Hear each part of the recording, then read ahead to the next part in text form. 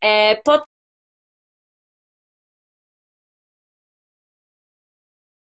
że muszę zakładać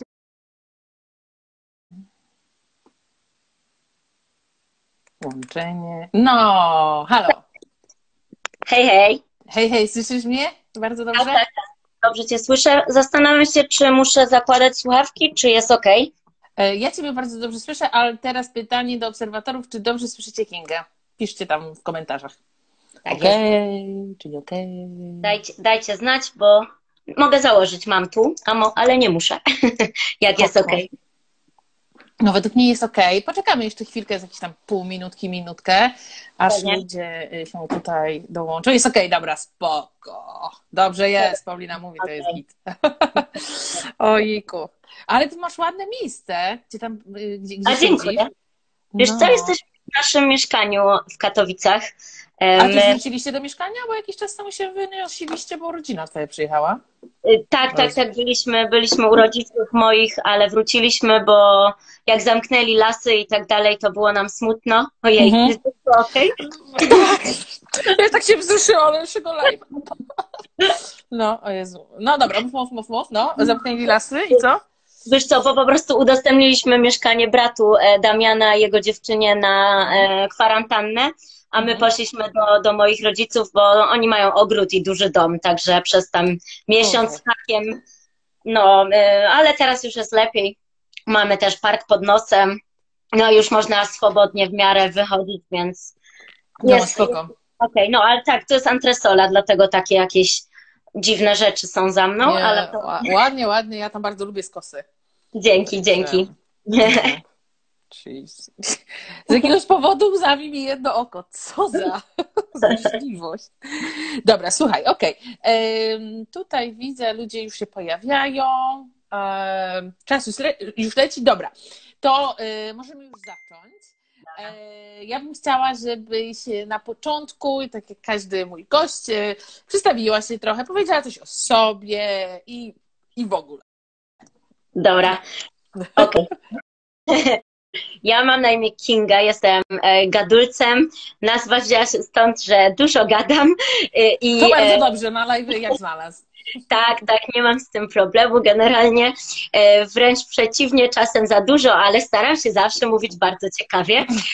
Ale jak coś się nie obrażam, czasem można mi przerwać i zadać inne pytanie i nie mam z tym problemu. W każdym razie no, staram się gadać głównie o podróżach, bo to moja największa pasja. E, tak jak e, wspominałaś wczoraj, e, no sporo już e, tego świata zwiedziłam i też w kilku miejscach e, miałam przyjemność e, mieszkać. Bo tak naprawdę wszystko zaczęło się od e, organizacji studenckiej, e, do której trafiłam na drugim roku studiów. Tam zresztą poznałam mojego obecnego narzeczonego. E, I, e, no i zaczęliśmy razem e, podbijać świat, a w międzyczasie gdzieś tam założyłam bloga właśnie Gadulca. No i co? Tak, tak jak mówiłaś wczoraj, byliśmy między innymi, mieszkaliśmy w Norwegii, na Islandii, na Teneryfie i mamy za sobą podróż po Azji półroczną i ponad półroczną podróż po Ameryce Północnej. Mhm, Okej, i jeszcze, jeżeli się nie mylę, ty organizujesz jakieś wyjazdy, prawda? Tak, tak. E, Przez w ogóle prawie rok to było jakby moje główne źródło utrzymania, czyli właśnie pilotowanie różnego rodzaju tripów. Współpracowałam z solistami. E, Potem, e, że tak powiem, wyjechaliśmy właśnie do Ameryki, do Kanady, Ameryki Centralnej i tak dalej. I jak wróciłam, to założyłam własną działalność i głównie współpracuję w agencji reklamowej moich rodziców, ale też robię swoje różne rzeczy.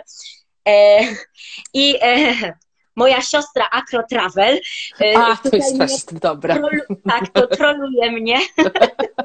E, I nie byłam w Mielnie, w ogóle nie byłam nigdy. Byłam w chałupach. Ja też nie byłam w Mielnie, chyba. Ja jestem z tych, co jeździli do chałup i jastarni, bo to takie trochę dwie grupy. Nie wiem o co to chodzi, ale takie mam wrażenie, nie? że jak ktoś. Damian był w Mielnie, on bywał tam, chyba. A, nie, mówię, że nie był, to głupoty gadam. Dobra, ja, ja w każdym razie Team Chałupy, Jastarnia i Hel. O, no. Spoko, ja tam chyba w żadnym teamie nie jestem. Pada pytanie, co studiowałaś, to akurat w tym kontekście możesz powiedzieć. Ja- Tak, studiowałam we Wrocławiu na Uniwersytecie Wrocławskim e, Dziennikarstwo i Komunikację Społeczną. Tam specjalizacja Public Relations, potem branding, e, więc nie do końca cokolwiek związanego z turystyką. Ale Spoko, coś o tym wiem. Tak jest. A ty, a nie, ty, ty nie jesteś po takim kierunku, czy też jesteś ja coś... Ja jestem po biotechnologii żywności a. na Politechnice. Okej, okay, dobra. No, ale właśnie mm, do, na UE trafiłam do tej organizacji studenckiej i tak naprawdę ja podróżowałam od zawsze, bo tam z rodzicami zawsze jeździliśmy od, wiesz, od dzieciaka. E, ale, że tak powiem, ten klub podróżników BIT to był taki przełom pod kątem takich dalekich wyjazdów, bo tam mhm. nagle, wiesz, poznałam ludzi, którzy dla nich to, że tam lecą do Kuala Lumpur, czy właśnie na parę miesięcy do Azji, wiesz, to było w 2000, nie wiem, 13-14 roku i jak to nie problem, nie? A dla mnie to było w ogóle, no ale jak to tak poza Europę, to tak wiesz, to tak się tak, da? da? I to nie musi być takie drogie? No, no i tak to się zaczęło. Mhm, no to super, dobra. E, to słuchaj, bo e, obydwie mamy doświadczenia e, w pracy za granicą z różnych krajów, także może będzie tak, że po prostu będziemy po prostu obydwie dzielić się własnym doświadczeniem, tak żeby obserwatorzy tutaj, którzy są, mieli różne punkty widzenia, bo Pewnie. w tych krajach, w których ty pracowałaś, ja nie pracowałam i, i odwrotnie. Ty masz bardziej e... w ciepłych krajach, nie? Doświadczenie. No, no, w ciepłych krajach, ale też poza, poza Europą przede wszystkim, bo tak, ja w tak. Europie tak. poza Polską to nigdy nie pracowałam. Także yy, tutaj padnie pytanie, jak się przygotować do wyjazdu, ty powie, po, powiesz yy, mieć paszport, a ja jeszcze, no to jest jeszcze historia wizowa i pozwolenie o pracę. Także, no, no dobra, okej, okay, spoko. To powiedz mi w ogóle, skupmy się na pracy, ok? E, nie na samych podróżach, tylko na pracy. Dlaczego zdecydowałaś się wyjechać za granicę, żeby pracować e, za granicą? Tak, e, pierwszy raz to była ta Norwegia i zdecydowaliśmy się właśnie wyjechać, bo to było z Damianem, moim chłopakiem i parą, taką jeszcze jedną. Pojechaliśmy w czwórkę po to, żeby zarobić pieniądze na podróże. Okej. Okay. Mhm. To było bardzo proste, w sensie proste. Taki mieliśmy konkretny cel.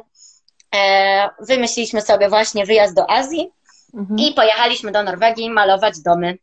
Malować domy. Jak, jak, w ogóle, jak, jak w ogóle Wam wpadła do głowy Norwegia i te domy i tak dalej?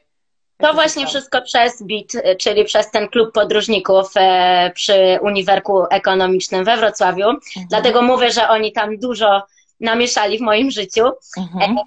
E, po prostu tam byli ludzie, którzy to robili, mieli to za sobą i dosłownie e, ten sam schemat, czyli e, jechali autem do Norwegii z ulotkami, rozdawali te ulotki gdzieś tam w różnych miejscach, czy jakieś plakaty, czy właśnie ulotki do skrzynek, e, normalnie na listy mieszkańcom danych regionów. I co było na tych ulotkach? Wiesz co, po Norwe- myśmy mieli akurat po norwesku, niektórzy tam po, po angielsku robili, ale my stwierdziliśmy, dobra, dajemy wiesz, żeby było tak e, fajniej. Profeska. Pełna profeska. E, Hus, Malik, coś tam, coś tam. No i było, że wiesz, że grupa e, studentów podejmie się pracy typu malowanie, typu ogrodnictwo, typu jakieś drobne prace remontowe i podawaliśmy numer telefonu. Mm, I w sumie po prostu czekaliśmy. Tam była jakaś grafika, no tyle. Pamiętam, mhm. że już za drugim rokiem było prościej, bo mieliśmy po pierwsze numer, już taki nasz numer e, z zeszłego roku. To byliście dwa razy z rzędu, tak? Dokładnie, w 2014 mhm. i w 2015 roku. Mhm. I e, jeszcze co, co w ogóle hit, zrobiliśmy e, za drugim razem nawet stronę internetową taką, e, no taką podstawową, ale to mhm. też było super, no bo nawet tam, nie wiem, czy z pozycjonowania ktoś nie wszedł przez przypadek, hmm. tam parę osób i pisali maila, no już tak było powiedzmy bardziej profesjonalnie. No i mieliśmy przynajmniej już spore doświadczenie, jakieś zdjęcia właśnie, jak malujemy, realizację przed i po. No bo trzeba też powiedzieć dla osób, które może nie były w Norwegii, że Norwegowie mają mm, domy drewniane w, w dużej większości i po prostu co parę, paręnaście lat y, je odmalowują, no a my byliśmy taką dość tanią siłą roboczą. Mhm. Jesteście bardzo w, w, Norwegii, tak jak Polacy właśnie wyjeżdżają, czy studenci e, w, w, przerwie wakacyjnej, jesteście bardzo konkurencyjni dla lokalnych pracowników albo dla ekspatów, którzy już tam żyją od kilku lat? Wiesz co, no nie wiem jak jest teraz, mówiąc szczerze, ale te pięć lat temu, no było jednak tak, no, no byliśmy na pewno sporo tańsi, szczególnie, że myśmy tam um, ogarnęli taką kwestię prawną, że e, jak się nie przekroczy jakiegoś tam, jakiejś kwoty, takiej dość wysokiej jak dla nas, dla Norwegów nie aż tak, mhm. e, że po prostu można wtedy na zasadzie takiej um, umowy sąsiedzkiej po prostu nie trzeba odprowadzać podatku, więc mhm, jakby mhm. E, no, myśmy zarabiali, dla nas to i tak były spore pieniądze, bo ja tu sobie spisałam, że to mhm. wtedy, wtedy to było tak około 50-60 zł za godzinę tak mhm. plus minus. E, mhm. tak wiesz, e, na rękę, że tak powiem. E, no a, no, a na pewno jakby Norwegowie chcieli, wiesz, e, zamówić taką profesjonalną ekipę z większym doświadczeniem, no to spokojnie to, to by było więcej tych koron, nie? To już nie byłoby tam 120-140 koron na godzinę, tylko na przykład 180 mm. i, i nie? Okej, okay, no. okej. Okay. I na długo tam byliście? Za pierwszym razem jakoś dwa i pół miesiąca, a za drugim chyba dwa. Okej. Okay. A e, poza paszportem, e, jak, jak, jaka była w ogóle droga, jeżeli chodzi o dokumenty? Czy tam są jakieś, to, czy to jest jakoś tak mega trudno? Nie, właśnie no przez to, że to są te umowy y, sąsiedzkie, mhm. y, to po prostu mieliśmy wzór, bo, bo ktoś nam o tym powiedział mhm. i potem już stosowaliśmy ten wzór trzeba było wyrobić taki numer, e, jakby mhm. właśnie, który upoważnia cię do pracy, a i problemem było to, że nie, myśmy nie mieli, właśnie to jest ważne, bo dlaczego tak dużo zarobiliśmy, bo myśmy w te dwa miesiące byli w stanie odłożyć na półroczny wyjazd do Azji i jeszcze nawet na to stało. Ważne jest to, że my praktycznie nie wydawaliśmy na noclegi, bo nocowaliśmy na dziko w namiocie. Okej. Okay to jest jakby istotne, że myśmy po prostu spali, bo w Norwegii można spać na dziko, tylko nie można na terenie prywatnym Aha. i tam, gdzie jakby jest zakaz, ale na, w, innym, w innych miejscach można, więc myśmy się po prostu rozbijali, a na przykład prysznic braliśmy na publicznej plaży pod taką lodowatą wodą. Albo prosiliśmy ludzi, u których Czyli pracowali. rzeczywiście jechaliście na maksa, żeby zarobić jak najwięcej i wydać tak. jak najmniej. Dokładnie. Normalnie przywieźliśmy słoiki ze sobą w aucie, yy, wiesz, z Polski. Rodzice nam peklowali mięso, no takie tam. Potem już sami się nauczyliśmy.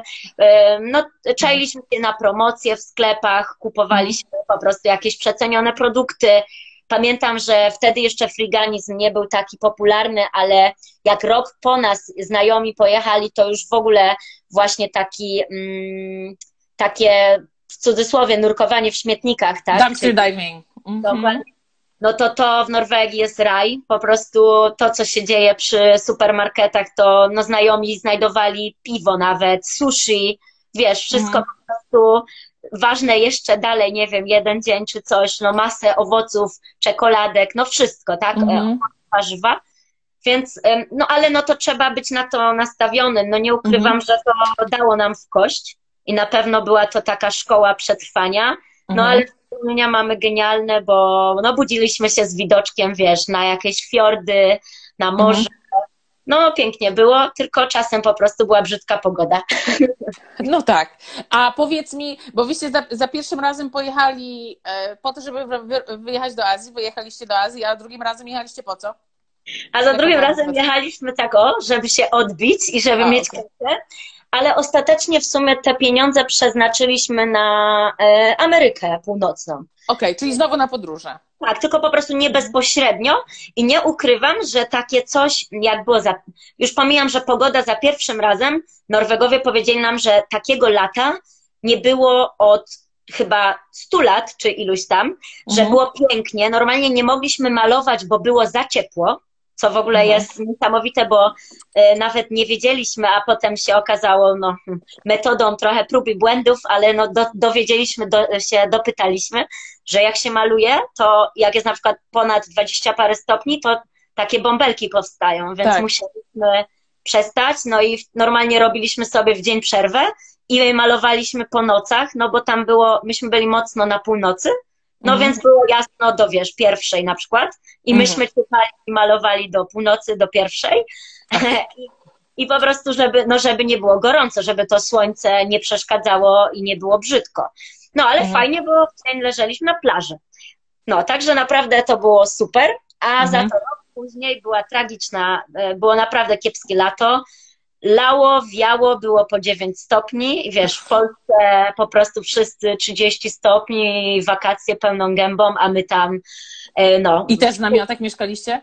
Tak, w kurtkach i czapkach. No, ale że tak powiem, czasem na, na przykład e, pozwalali nam, o, na przykład tydzień malowaliśmy dom w Szwecji, Norwega, Aha. taki lotnisko, Aha. letniskowy, no to wtedy mieszkaliśmy w nim, nie? Aha, okej. Okay.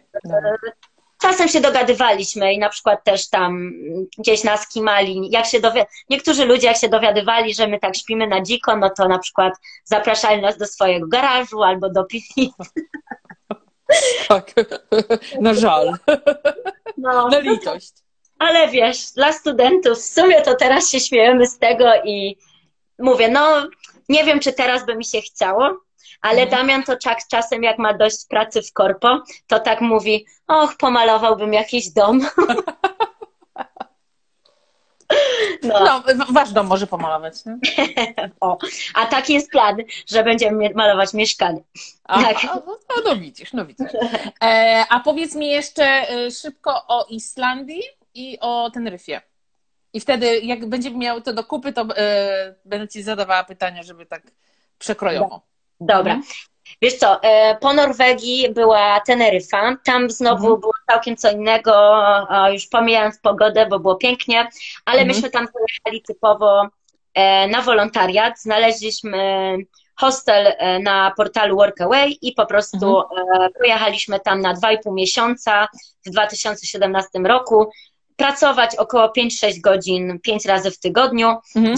za wikt i opierunek, czyli nocleg i jedzenie.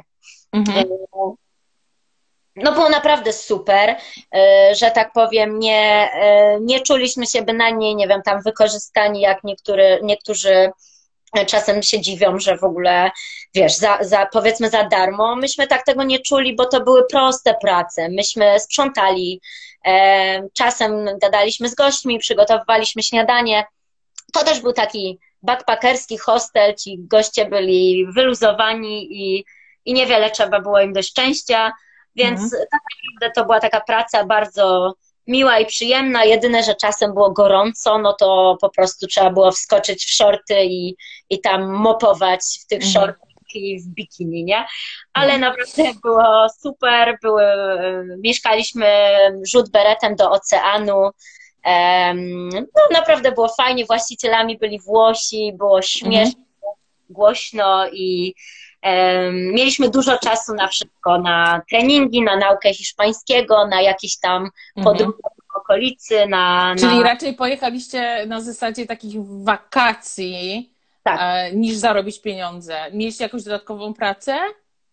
Wiesz co, e, to w ogóle było tak, że myśmy, to było trochę takie spontaniczne, nas tam miało nie być, ale żeby, bo mieliśmy jechać już wtedy do Ameryki Centralnej, ale przez to, że tam pojawiła się dwa wesela, na których chcieliśmy być w wakacje, to mhm. wymyśliliśmy taki właśnie wolontariat, żeby sobie też odpocząć tak naprawdę mhm. E, po dość tam ciężkim e, roku. Jakieś tam, wiesz, kończyliśmy studia, mhm. bla, bla, bla właśnie e, ja byłam po tej pracy jako pilot prawie rocznej i też nieźle E, dostałam w kość, ale oczywiście też super, super doświadczenie, ale no, praca z ludźmi. Byłaś zmęczona i chciałaś. Odpocząć. Dokładnie. A mhm. dodatkowo pracowaliśmy, udało nam się nawiązać z biurem podróży, takim mhm. polskim biurem podróży tam na Teneryfie i robiliśmy takie zlecenia, filmy mm, na blogu, e, różne publikacje na, w mediach społecznościowych, krótkie mhm. spoty, i za to e, dostawaliśmy i barter, jakieś wycieczki, ale też wynagrodzenia po prostu. Okay. Okay. Tylko to był taki dodatek. Myśmy, aha, jeszcze wynajmowaliśmy mieszkanie tam, e, jakby obsługiwaliśmy takie mieszkanie na wynajem i z tego też coś, mieliśmy jakąś tam prowizję. Mhm.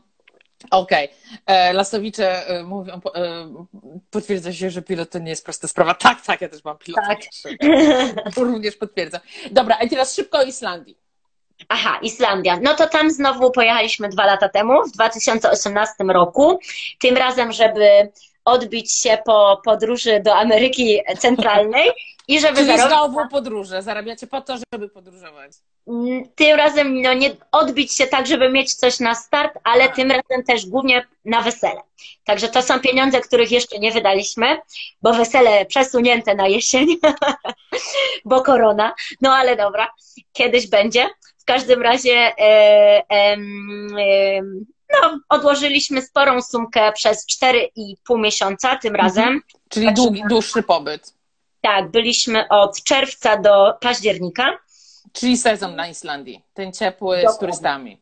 Dokładnie, tym razem już tak grzecznie mieszkaliśmy w hostelu, e, a wręcz takim guest house, powiedziałabym, mhm. w centrum Reykjaviku to już była całkowicie praca taka normalnie na umowę, po prostu o, okre, o nawet czas to był chyba nieokreślony, bo myśmy przyjechali, nie do końca wiedzieliśmy do kiedy zostaniemy, że tam minimum do tego października, normalnie stawka godzinowa, jeszcze więcej zarabialiśmy w weekendy, a jeszcze w międzyczasie znaleźliśmy, bo pracowaliśmy w tym samym guest house, normalnie ścieliliśmy łóżka, zajmowaliśmy się gośćmi, pranie e, i tak dalej, sprzątanie po prostu mhm. pokojów, łazienki, e, bo tam były wspólne łazienki, kuchnia.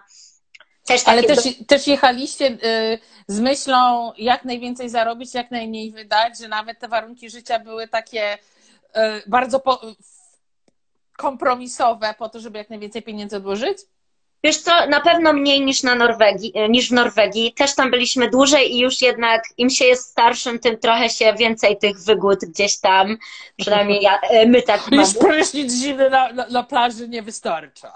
No, no plus Islandia to w ogóle tam by był hardcore pod namiotem, bo tam nie ma drzew. To jest w ogóle kosmos jakiś. Ja, ja podróżowałam po Islandii i spałam właśnie w namiocie, także wiem, zdaję sobie z tego no, sprawę. No. no nie, naprawdę, no 4,5 miesiąca pod namiotem na Islandii to już by był no hardcore, a poza tym, wiesz, myśmy tam jechali już na nagraną pracę, bo mm. myśmy ją znaleźli w Polsce. Tak jak do Norwegii jeździliśmy w ciemno, tak mm. na Islandię pojechaliśmy na, do nagranej pracy, też taka e, ciekawa historia, że nam normalnie jak już mieliśmy loty, odmówili nam jednej pracy, -hmm. ale mieliśmy fuksa i przez ten miesiąc do wylotu znaleźliśmy e, nową pracę, tym -hmm. razem w stolicy.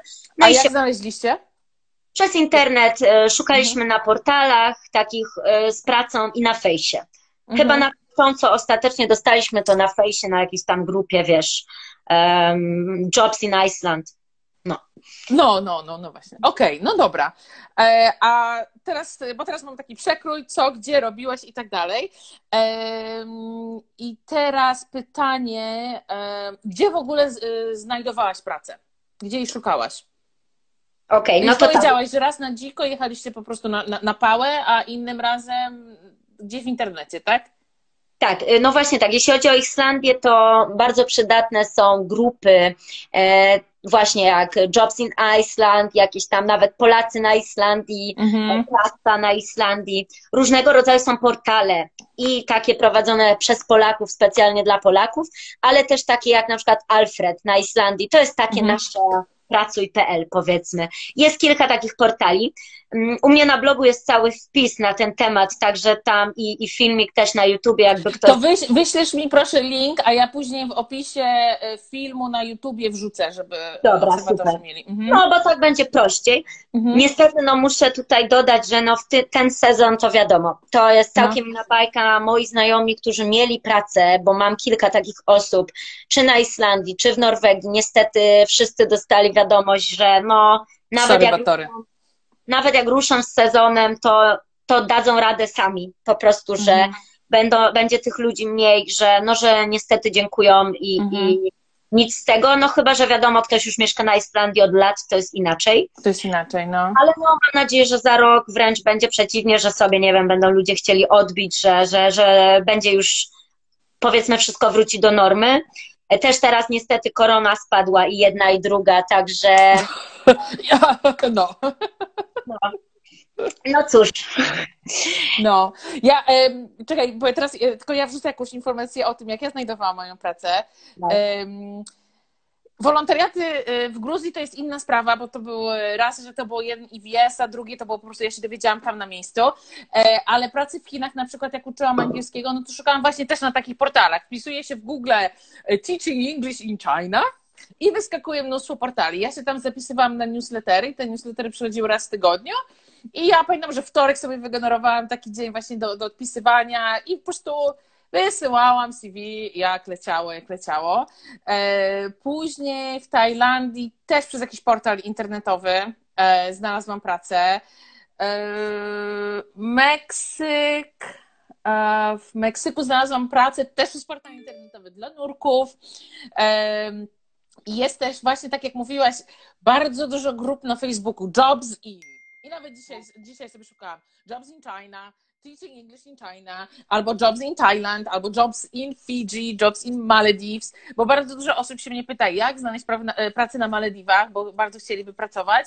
To właśnie tego typu grupy. I tam są wszystkie zbiórki, bo um, ja mam pracę nurkową i my jako nurkowie mamy swoje osobne portale i tam już jest stricte, stricte tylko nurkowie profesjonalni z uprawnieniami i tak dalej. I że tak powiem, na pałę nie można e, aplikować o taką pracę, e, ale właśnie są takie prace, e, prace na Malediwach i tam jest od kurczę pokojowej, aż po pracy na recepcji, menadżerów, kelnerki i tak dalej. Także taki, tego typu grupy spokojnie można z takich grup można znajdować pracę. W, w, Chinach na przykład było bardzo popularne korzystanie z pośredników, korzystanie z pośredników pracy, tych zagranicznych. No właśnie, w Chinach było to dość popularne, tylko że tam wtedy trzeba zwrócić uwagę, kto płaci za pośrednika. Tak. E, bo myśmy trafili na takiego pośrednika, e, agenta szkół, on po prostu on pracował dla kilku szkół i i on miał taką umowę, że to on się ze szkołą rozlicza, a nie z nami.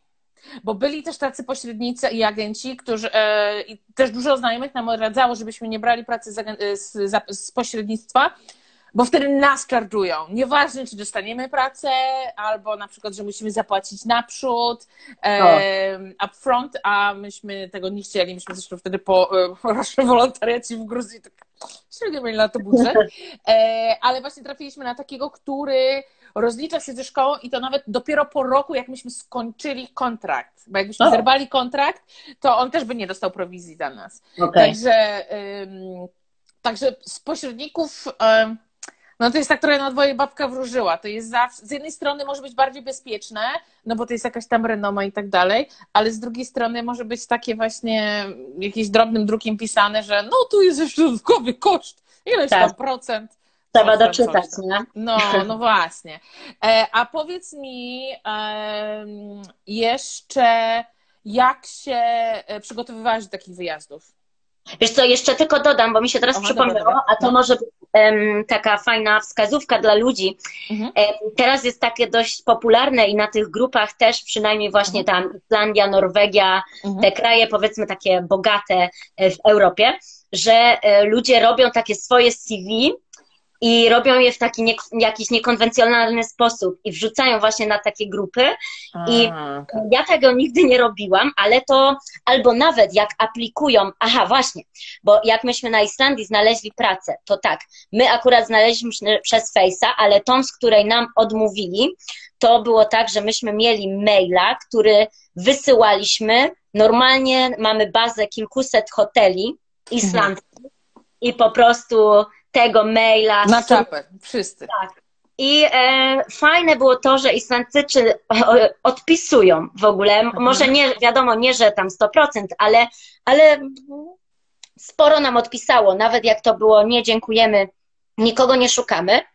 paru odpisało, że może, ale proszę się na przykład odezwać potem. Aha. I właśnie do takiej aplikacji, żeby zwrócić na siebie uwagę, można na przykład dorzucić filmik albo jakieś, wiesz, takie mhm. CV bardziej takie prezentacja. Na pewno mhm. to jest coś takiego, co nas wyróżnia i po prostu oni, bo oni, no, no nie ma co ukrywać, zostają zasypywani e, CV różnego tak. rodzaju, nie mhm. tylko od Polaków, bo mhm. to też są ludzie, nie wiem, z Rumunii, z Węgier, no zewsząd tak naprawdę, mhm. E, z Czech, bla, bla, bla. No mhm. i, i, myślę, że to jest fajna opcja, czy nie wiem, tam znajomi jakiś komiks zrobili o sobie, wiesz, fajne. Okay. No. Takie coś innego, nie? Także taki tylko tip. No. no, ale nie, to jest, to jest ciekawe, bo ja nigdy z czegoś takiego nie korzystałam i szczerze mówiąc, pierwszy raz słyszę, bo tego, tego typu CV to tylko pamiętam na tych konkursach wygraj pracę życia, podróżuj przez rok i opisuj wszystko, coś tam, coś tam. Nie? Tak, tak. E, no dobra, to powiedz, jak się przygotowywałaś do tych wyjazdów? Czy było coś, tak, coś, co musiałaś zrobić wcześniej w Polsce? Czy jakieś ubezpieczenie, czy jakieś właśnie tam wizy, nie wizy? No, no nie wiem, tego typu rzeczy? Wiesz co, no u, u, mnie akurat było tyle prosto, że jak to jest właśnie no, kraje e, w Europie, bo, bo o nich mhm. mowa, to tak naprawdę no trzeba co? Najlepiej mieć sprawną kartę EKUS, tak na wszelki wypadek. Mhm. E, sprawną, nie sprawną, Wyrobioną. tylko wyrobioną, tak, żeby miała e, ważność. E, hejka, hejka. Co jeszcze? Jeszcze mm, no, ubezpieczenie dodatkowe i to też e, doczytać, czy na przykład dopytać pracodawcę, czy on nas ubezpiecza, jak pracujemy, albo sprawdzić, czy na przykład Euro 26, czy tam Planeta Młodych, e, ten dany wariant działa, jak pracujemy, bo to mhm. zależy, jest studentem, czy się nie jest, czy się właśnie pracuje, gdzie się pracuje. I też pamiętam, że bo ja e, przeglądałam te karty, ważne jest to też na ile jedziecie, bo ja pamiętam, że niektóre z tych kart pokrywały tylko trzy miesiące i tak. wtedy trzeba było wrócić do, e, do Polski i dopiero e, wy, wyrobić sobie nową, albo yy, trzeba było wrócić do Polski i dopiero wtedy tego miejsca, tak jakby zresetować tą kartę. Tak. E, ja pamiętam, że no ja ponieważ ja nie, pracuję, nie pracowałam nigdy w Unii Europejskiej poza Polską, to mnie te karty nie obowiązywały. One mi w ogóle nie pomagały, bo one były tylko właśnie na miesiąc, na 30 dni lub na 90 dni z powrotem do Polski i one też nie pokrywały pracy za granicą. Więc takie tak. właśnie rzeczy trzeba, trzeba um, sprawdzić i tak samo z innymi ubezpieczycielami. Ja znalazłam tylko jednego ubezpieczyciela, który mi mógł odnawiać ubezpieczenie co miesiąc bez powrotu do Polski. Wow. Także no, musiałam, mogłam co miesiąc po prostu robić przelew, a wszyscy inni wymagali, żebym ja wróciła do Polski i dopiero znowu wracałam. To przecież absurd, że z Malediwów będę, a co no. miesiąc pyknę tysiąc dolarów na, na, na bilet, nie?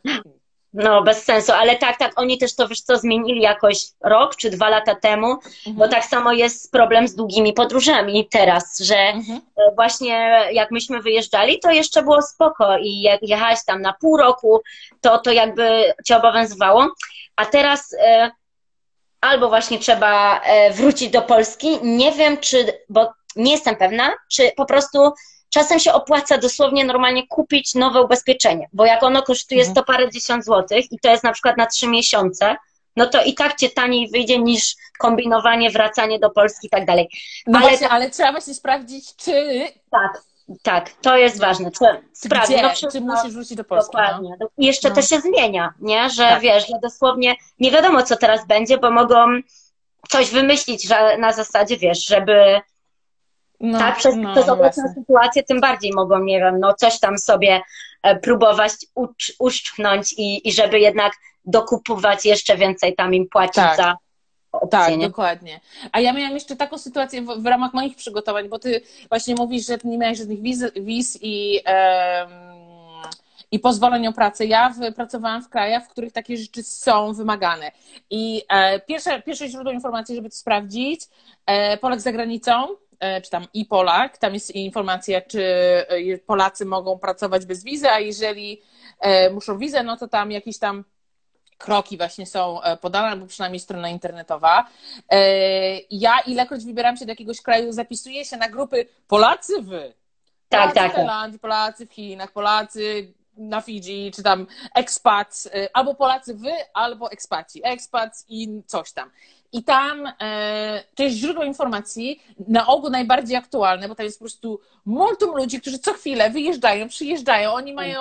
E, ja miałam taką sytuację, że jak do Indii starałam się o wyjazd, o wizę, e, to była turystyczna akurat, ale MSZ w ogóle nie miał aktualnych informacji, bo oni mówili, że jeszcze jakieś dodatkowe pozwolenie muszę mieć, a okazało się, że oni je pół roku czy tam rok wcześniej już jest nieważne i ja się to dowiedziałam, o, o tym dowiedziałam z bloga.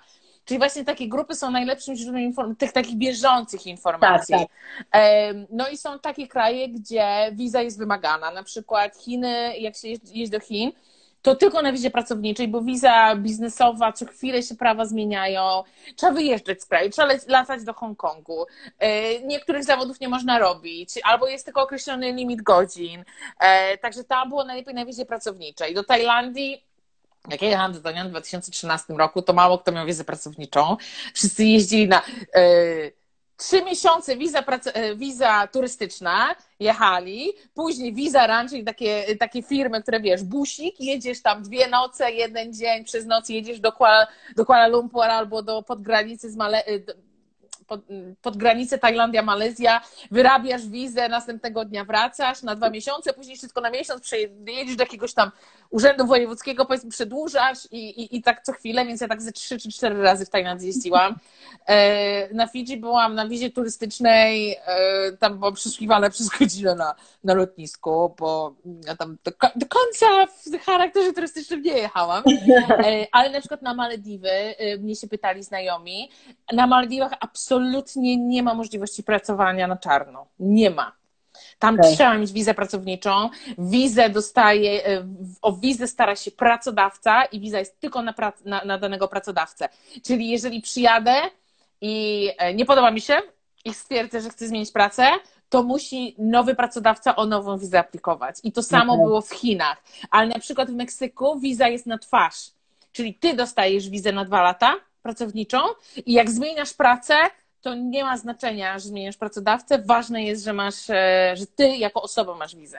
E, także to jest ważne, żeby sprawdzić, e, czy ta wiza rzeczywiście jest wymagana. Czy... Oczywiście, że lepiej jest pracować na wizie pracowniczej, bo większe prawa masz i więcej cię chroni. Ale w Azji Południowo-Wschodniej jest to różnie przestrzegane. Co prawda, przez ostatni rok czy dwa zrobiło się bardziej ostro i obcokrajowcy po prostu trafiają do więzień. Ja mam takiego kolegę, który miesiącami spędzi, e, miesiące spędził w więzieniu, bo został złapany na nielegalnej pracy. O kurczę.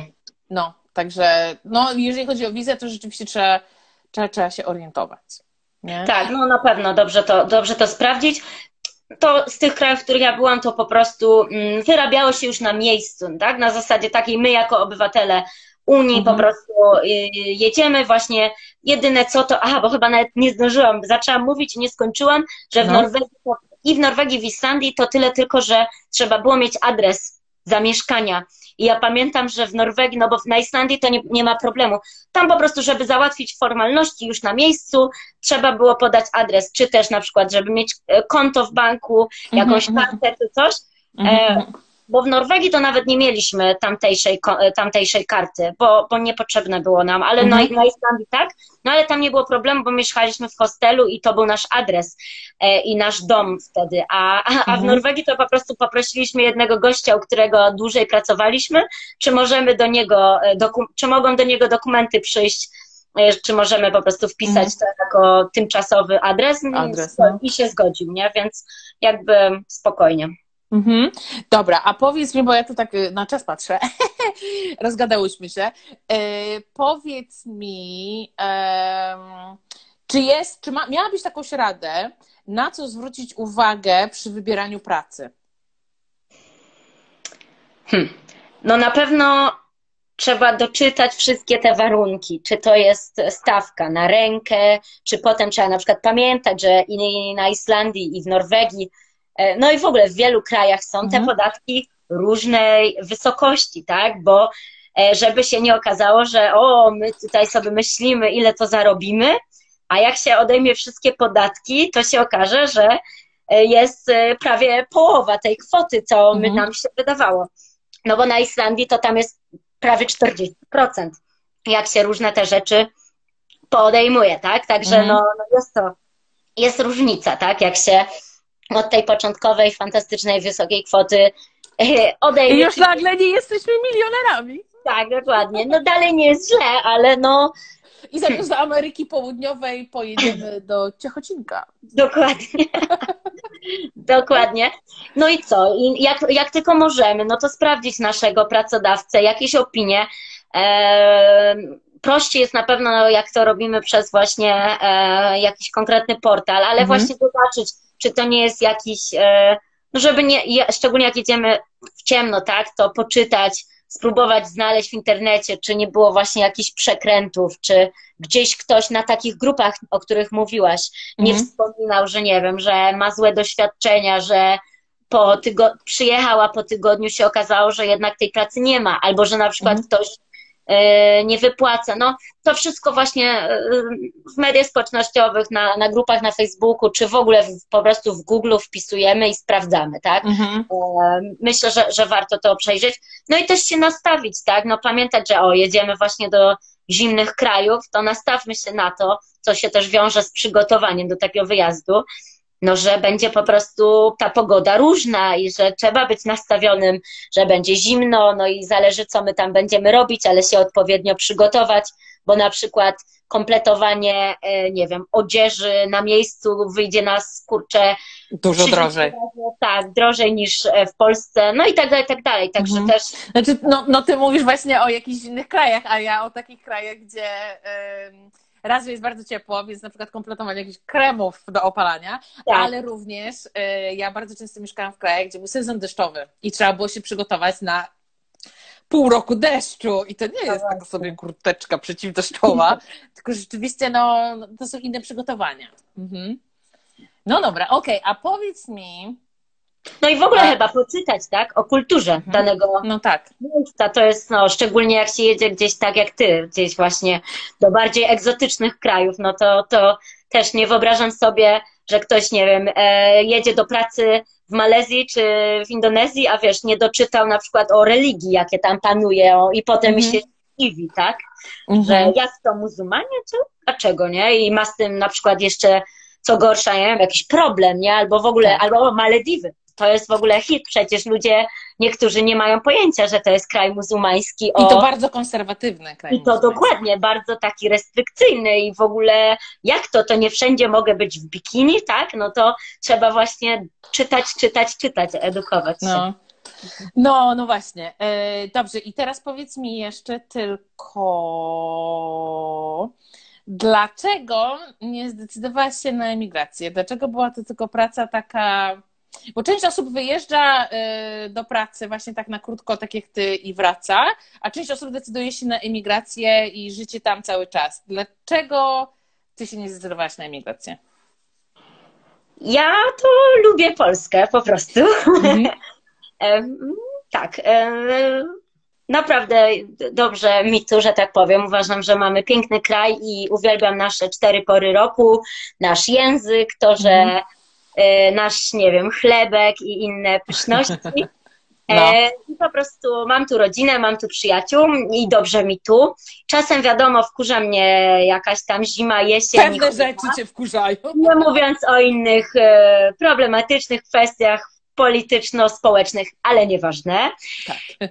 Że tak powiem, dalej, dalej gdzieś tam ta Polska, no, no nigdy nie chciałam w sumie wyjeżdżać. Może też nie znalazłam po prostu miejsca takiego um, mojego, ale nie wykluczamy z Damianem, że kiedyś nie przeprowadzimy się na e, Teneryfę, czy w ogóle na Kanary.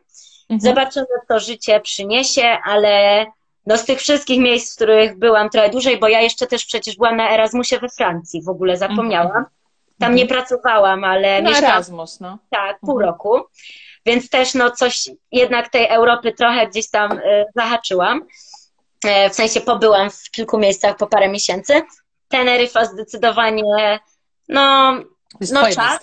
Tak, i, i to jest właśnie to, że, że jest po prostu w miarę jeszcze blisko, ale zawsze ciepło.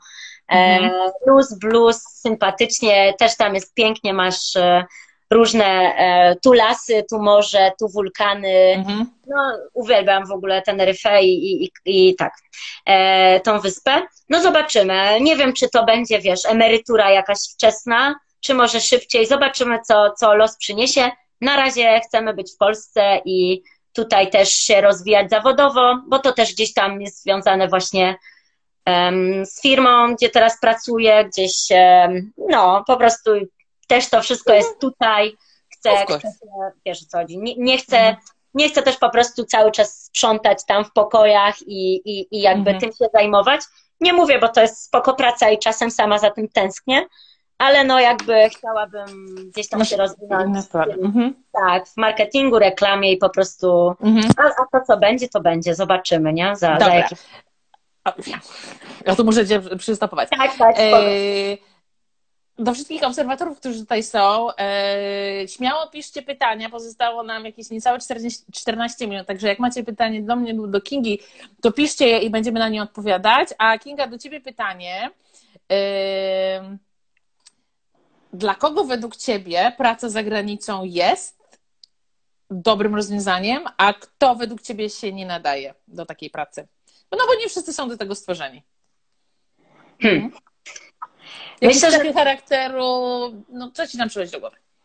Wiesz co, no na pewno trzeba być elastycznym i jakby brać pod uwagę to, jak ktoś, nie wiem, uwielbia planować i do tego właśnie nie ma tej, bo ja lubię planować, ale E, mam też takie coś, że szyb, nie boję się zmieniać planów. Nie mam z tym mhm. problemu, że właśnie coś się podzieje, no to o jasne, jak każdy chwilę tam popanikuje i ojej, ojej, ale szybko się ogarniam, zbieram do kupy i działam. I to jest ważne, bo właśnie no, w obcym kraju nam jest trudniej, bo jesteśmy jednak dalej od y, rodziny bliskich i po prostu często musimy, szczególnie jak jedziemy w ogóle gdzieś sami, no bo my zawsze też byliśmy we dwójkę albo w czwórkę, też jest mhm. inaczej. Mhm. No a jak jedziemy na przykład sami, no to już w ogóle, tak, jedziemy, jesteśmy zdani na siebie, e, ale też na przykład nie bać się mm, prosić o pomoc, jak jesteśmy już na tych grupach i coś się dzieje, to odezwijmy się. Ja się spotkałam z taką życzliwością w ogóle od strony Polaków, przede wszystkim e, właśnie wszędzie właściwie. Mhm. A bo na Islandii jeszcze w burgerowni pracowaliśmy. bo znaleźliśmy drugą pracę właśnie dorywczo i wieczorami Aha. robiliśmy burgery. Fajnie było. No i, i właśnie jak się coś dzieje, wiesz, coś jest nie tak, nie wiem, mhm.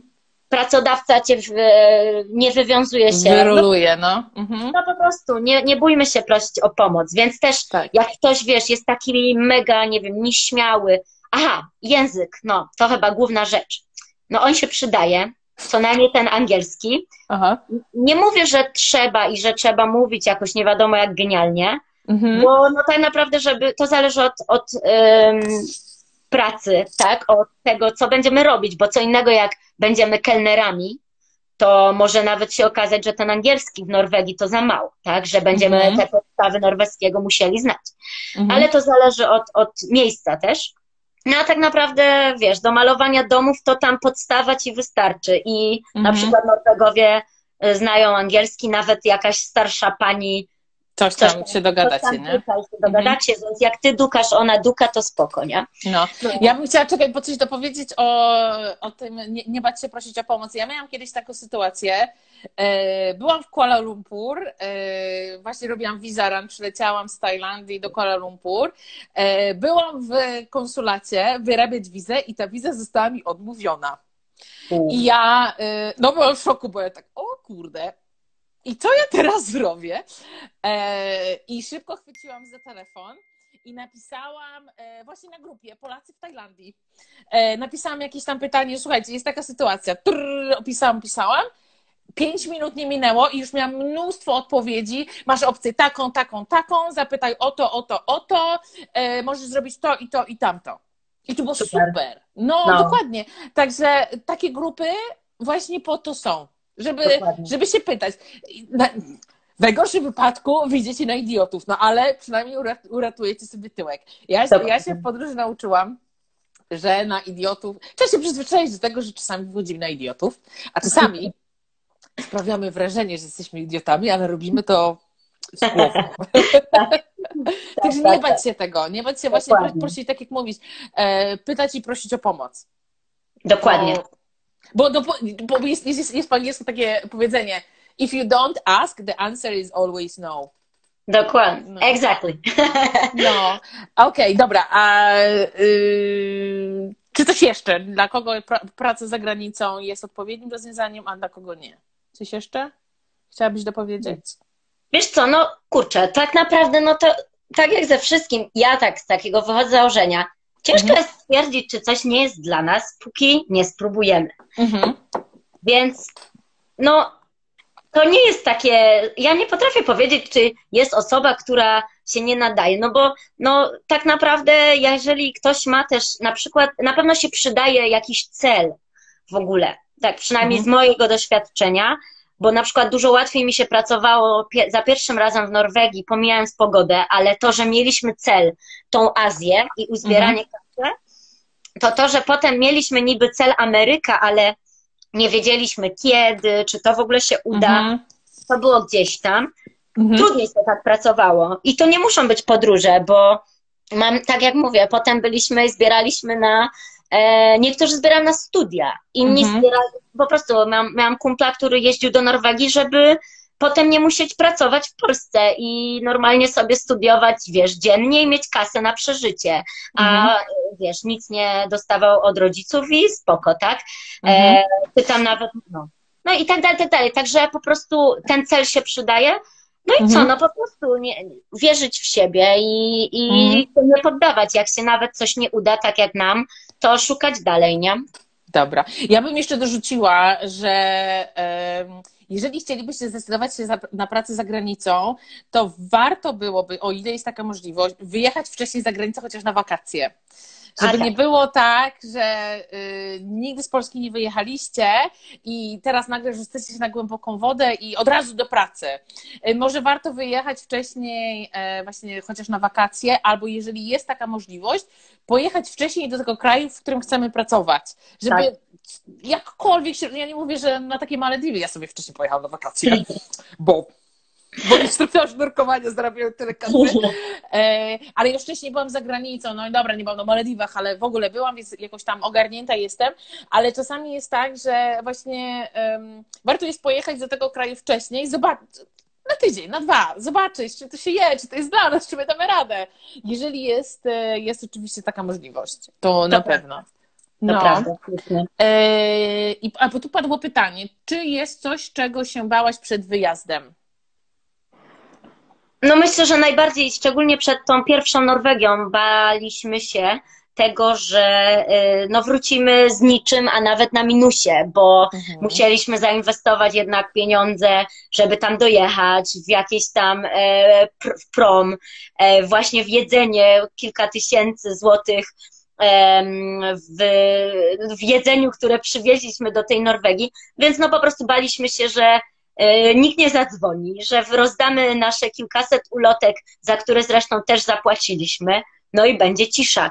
E, tak się nie stało, ale też, żeby nie było kolorowo, no to mam znajomych, którzy po prostu wrócili i wyszli na, na zero, czy też na mhm. minusę. Ale jest ich dużo, dużo mniej niż tych, którzy zarobili naprawdę fajne pieniądze. No, dużo mam takich znajomych, którzy wrócili z takiego work and travel e, do Stanów Zjednoczonych. Że tak. wrócili na zero albo na minusie. Ale to mhm. też dlatego, że najczęściej podróżuje się potem, tak? Że mhm. po tym work and travel oni, nie wiem, tam parę tygodni podróżują po Stanach i, i potem wracają na zero albo tam, nie wiem, kilkaset dolarów im zostaje tyle, nie? Mhm. Okej, okay, dobra. Y, muszę Cię stopować. Jak wygląda kwestia rozliczenia PIT, kiedy w ciągu roku mamy kilka prac w Polsce i za granicą? Może coś tak szybko rzucić? Ojej, to jest szybkie, to jest do, do sprawdzenia aktualnie, bo to zawsze ogarnia Damian. My nie rozliczaliśmy. Yy... Czyli piszcie do Damiana. Piszcie do Damiana.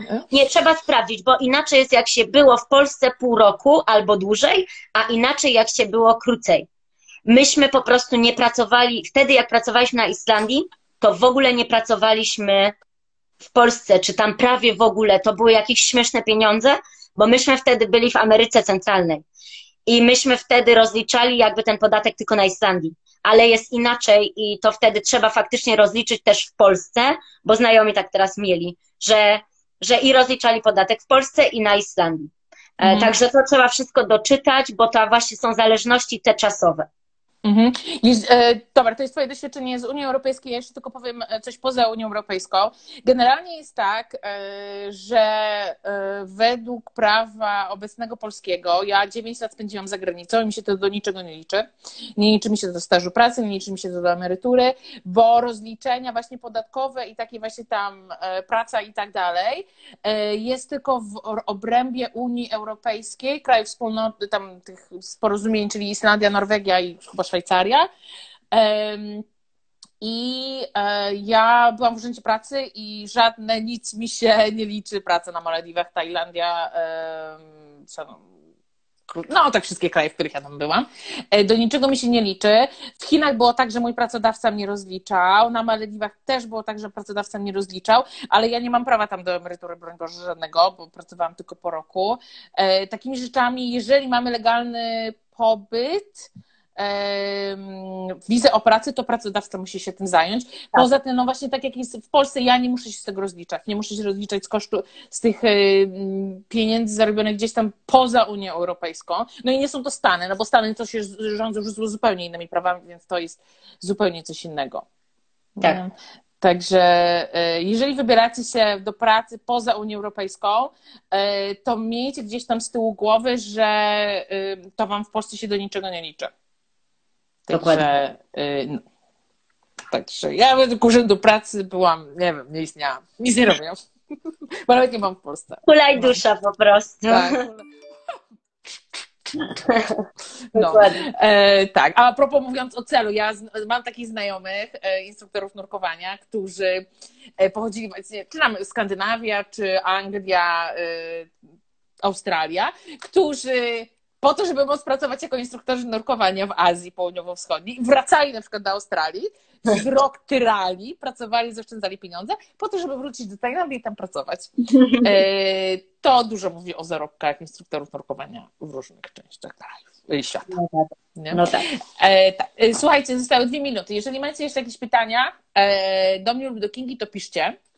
E, jak zwykle, live będzie dostępny przez 24 godziny tutaj na Insta. Później ja go wrzucę do siebie na YouTube'a e, i wtedy w opisie podam wszystkie te informacje, o których Kinga mówiła, w sensie linki, e, czy do ciebie, do, do, do posta na blogu, czy jakiś tam, skąd tam miałaś pracę i tak dalej. To wszystko będzie, będzie w opisie. Kinga, czy chcesz coś jeszcze powiedzieć? Bo nam zostały mniej niż dwie minuty.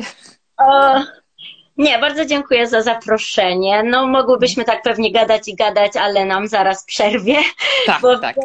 oba dwa gadulce się spotkały. ale, ale, to jest bardzo pozytywne. Ja lubię, jak ktoś dużo mówi, jeszcze wiesz. E, sensownie. I, I, jakby mm, bardzo, bardzo mi miło, bardzo było fajnie. Jak oczywiście macie jakieś pytania, czy o mm, wolontariaty, czy właśnie o pracę w Norwegii, Islandii przede wszystkim, to, e, to piszcie też do mnie na priv. E, no i co? Fajnie było się zobaczyć. No,